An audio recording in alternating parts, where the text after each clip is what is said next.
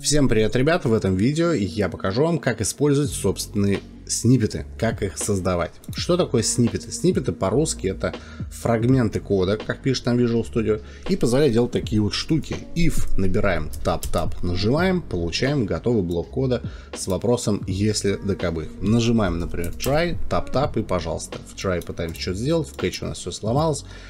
Но как нам сделать собственный такой? Например, я хочу сделать метод. Вот есть, например, property, prop, да, и я заранее могу писать там что-нибудь. Написал, ну, так, например, string, enter, или там tap-tap, и он мне вот позволяет перебегать, что делать. А где метод? Метод, простой метод. Хочу обычный метод. Как это сделать? Делать это очень просто. Переходим в папку Visual Studio C, Program Files x86, Microsoft Visual Studio 2019, Community, VC решетка, snippets, 1049 локализация ваша и, соответственно, тест, кстати, папка валяется для экспериментов, но там не надо. Visual C Sharp и вот эта папка. Давайте сделаем вид списком. А, и, соответственно, давайте возьмем if. Просто правой кнопочкой копировать и переименуем этот файлик, потому что будем издеваться на копии этого файла. Переименуем его как mm, например. Вот метод хотим на mm набирать, к примеру. И, соответственно, давайте смотреть. Можно открыть этот файл хоть в блокноте, хоть в блокноте плюс-плюс, хоть в Visual Studio, неважно, где бы вы что ни меняли, в реальном времени Visual Studio это понимает. Это очень приятно. Поэтому берем этот MM, бросаем прямо в студию, тут проще, тут все понятно, наглядно и так далее. И вы видите, значит, такую вот красоту, скажем в кавычках, которая позволяет вам сделать собственный снипет на основании того же самого простого if. Title, как понятно по названию, title, то есть заголовок, как называется, называется очень просто, называется метод. Мы его так назовем, а может даже по-русски, метод. Вот мы так хотим по-русски, метод наш. Шорткат, например, на MM мы уже придумали. Description, вообще не важно, что вы тут напишите. Не важно. Отстань от всяких полей. Дай уже наконец сделать, отстань автор сценария и режиссер, в общем, понятно. Не важно, вы тут пишете абсолютно. Сейчас вы э, объясню про surround, про эти. Самый интересный код, ребята, это вот здесь находится. Вот эту желтизну все выделяем, так вот, хоп, удалили, и, пожалуйста, у вас есть блок C-Data который как раз и служит для вашего кода. Но давайте вернем обратно и рассмотрим на примере if. Еще раз, набираем if, нажимаем tap-tap и получаем if true, почему-то подсвечивается и скобочки. И здесь вот курсор моргает. Давайте разбираться, как это так работает.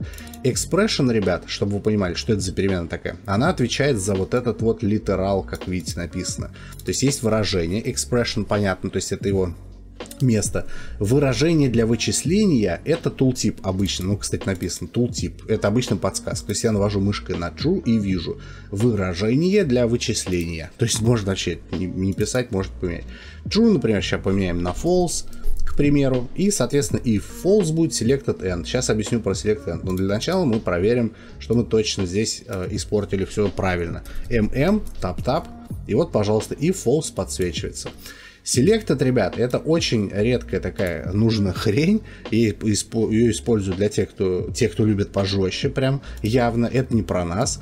А, мы используем нормальные вещи, но тем не менее я должен сказать. Вот, к примеру, вы делаете какой-нибудь там а, фо, и внутри этого фо хотели еще один фо сделать. Кому-то приходит в голову выделять вот так вот блок, нажимать правой кнопкой, фрагмент кода, вставить и искать здесь еще один фо вставлять внутри. За это отвечает как раз вот этот самый selected. Он нафиг никогда не нужен. И будет он работать только если у вас есть surrounds with.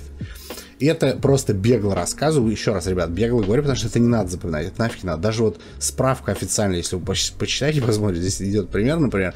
Так, так, так, так. Если при вызове шаблона выделено слово blue, результат будет следующим. Blue is great color. М-м-м.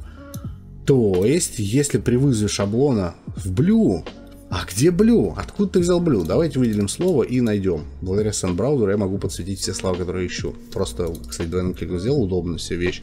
Тоже SendBrowser. Потянул вниз и нашел слово, например, элемента. Хоп, и увидел везде, где слово элемента.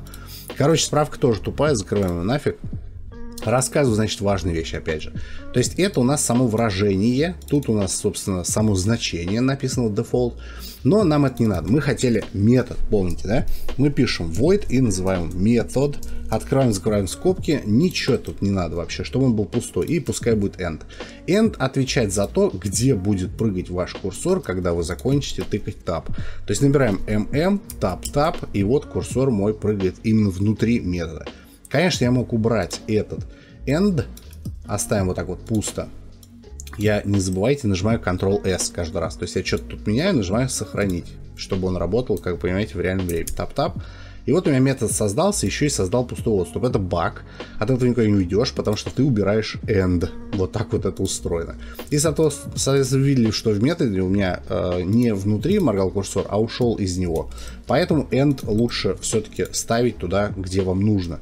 Я сейчас здесь отменяю этот end, возвращаем, смотрим, набираем. Вот мы хотим новый метод, mm, tab-tab. Все, пац, красота работает. Кто-то может сказать, Хачтур, а вот у тебя же пан свитчер, ты сам делаешь часто, вот набираешь па, и бац, у тебя тут с паузы, секунды и так далее. Это очень может быть здорово, но если вы вспомните, как панта свитчер, смотрите, для, давайте, для тех, кто не в курсе про панта свитчер, что за такая за чудо-программа.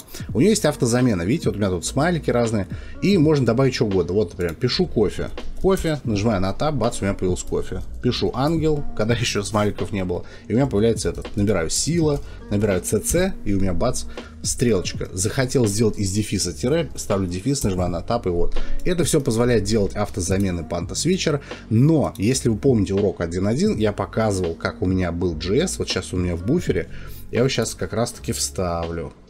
Идем в пант свитчер, автозамена, добавить, пишем JS, и сюда вставляем код, который у меня в буфере. Окей. И вот смотрите, что происходит. Если вы а, помните, нажимаю на Tab, и смотрите, оп, download стрим, я один раз нажал, ничего не трогал, и вот он начал тупить, застревать. И это нехорошо.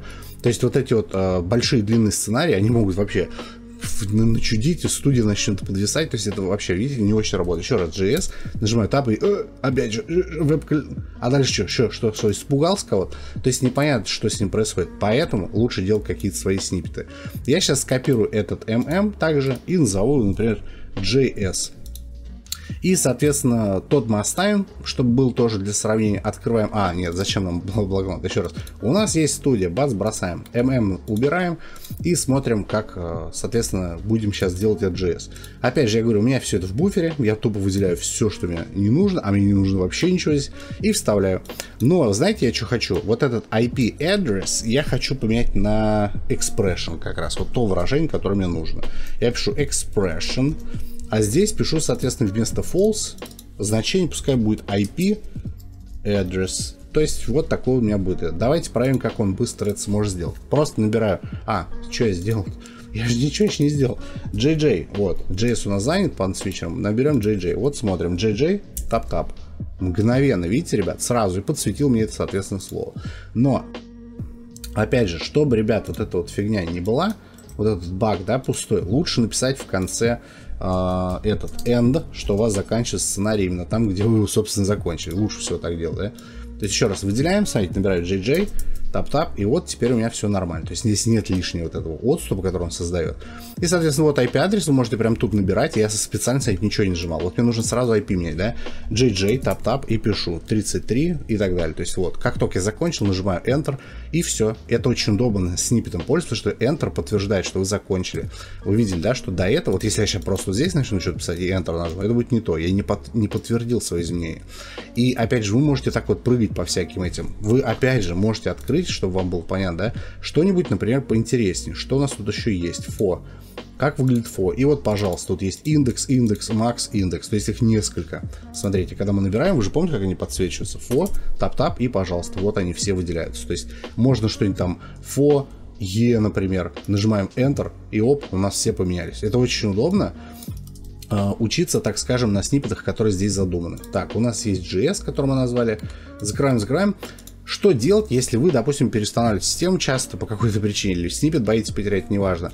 А, сниппеты желательно, конечно, сохранить куда-нибудь в отдельную папку. Ну, например, там, не знаю, мы сейчас просто сделаем пример на C. Сейчас создам папку и назовем его snippets. Ну, к примеру, snippets. И вот сюда можете те самые файлы, которые делали сниппет, вот сюда прямо их и бросать. То есть мы сейчас специально даже зайдем пробуем файл 86, опять же, где мы были, были, были, были, были назад, назад, берем какой-нибудь, или я удалил, не, не удалил, JS, давайте скопируем, идем на C и бросаем в папку snippet с правой кнопкой вставить.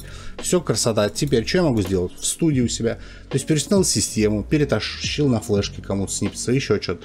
Очень легко. Заходим в средства, Дальше у нас э, диспетчер фрагментов кода. Переходим из ASP.NET. Вы первый раз, если здесь заходите, у вас здесь это ASP.NET.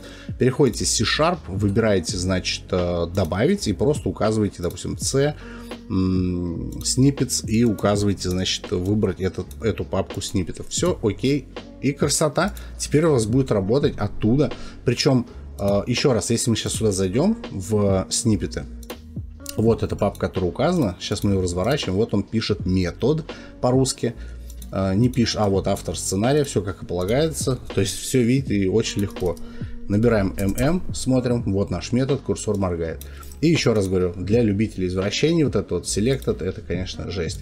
Но если хотите, пользуйтесь. Самое главное, напишите в комментариях, какие вы сниппеты себе придумали, если вы их уже придумали. Если не придумали, придумайте и напишите, что придумали. У меня на этом все. Ставьте лайк, подписывайтесь на канал. Пока.